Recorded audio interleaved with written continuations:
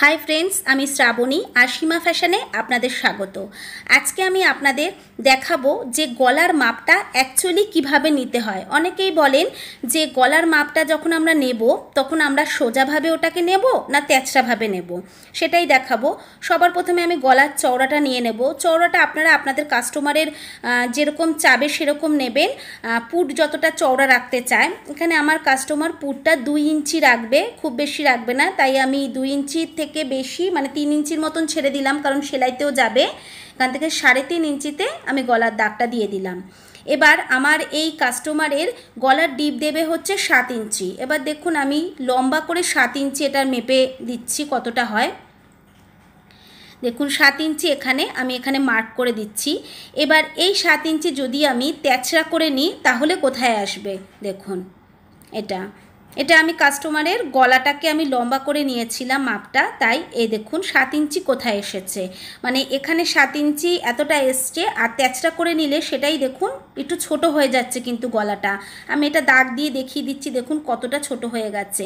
এবার আপনি যদি এই সোজাভাবে কাটেন আর এই তেচড়াভাবে এটা মাপ দেন, দেখুন এটা কিন্তু আট ইঞ্চি হয়ে যাচ্ছে। এবার আপনারা বলতে পারেন তাহলে কীভাবে নেব?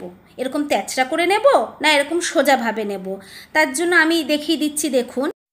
এই যে আমি এখানে যে কুর্তিটা পরেছি, সেই কুর্তিটার মাপ আমি আপনাদের দেখিয়ে দিচ্ছি। এবার এটা হচ্ছে ঘাড় থেকে যদি ধরি, দেখুন। এটার একদম মিডিল পয়েন্ট অবধি এটা কিন্তু আমার সাড়ে ছয় আসছে। এই দেখুন, সাড়ে ছয় এটা এসেছে। ঠিক আছে? এবার এই সাড়ে ছয়টা যদি আমি কাস্টমারের এইভাবে মাপ নিলাম সাড়ে ছয়, এবার কাটার সময় যদি আমি এটাকে সোজা করে রেখে কাটি, তাহলে কি হবে? দেখুন, সাড়ে ছয়টা কোথায় এসেছে? দেখুন, কতটা কিন্তু নিচে নেমে গেছে। সোজা করে বা তেচড়া করে মাপ নেওয়াটা কোনো ব্যাপার না। যেইভাবেই মাপ নেবেন না কেন, কাটার সময়ও কিন্তু সেইভাবেই বসাতে হবে। তাই আমি কাস্টমারের যখন মাপ নিয়েছিলাম, তখন কিন্তু আমি সোজাভাবে সাত ইঞ্চি মাপ নিয়েছিলাম। তাই আমি এটা সোজা সাত ইঞ্চি দিয়েছি। যদি আমি কাস্টমারের এটা তেচড়া করে মাপ নিয়ে সাত ইঞ্চিতে নিতাম, তাহলে কিন্তু আমি তেচড়া করে মেপেই সাত ইঞ্চিতে দাগ দিতাম। এইভাবে।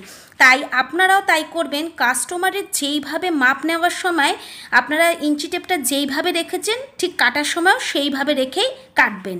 এইভাবে যদি তেচড়া মাপেন, তাহলে এইরকম তেচড়াভাবে করে আপনারা কাটবেন।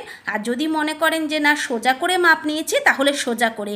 তাই যে কোনো একভাবে মাপ নেবেন আর একভাবেই সেটা কাটার চেষ্টা করবেন। আশা করছি আপনাদের আমি বোঝাতে পেরেছি কীভাবে গলার মাপটা নিতে হয়। এরকমই সব গুরুত্বপূর্ণ টিপস শেখার জন্য যারা নতুন আমার চ্যানেলে, এখনই আমার চ্যানেলটি সাবস্ক্রাইব করে পাশে থাকবেন। ভালো থাকবেন, ধন্যবাদ।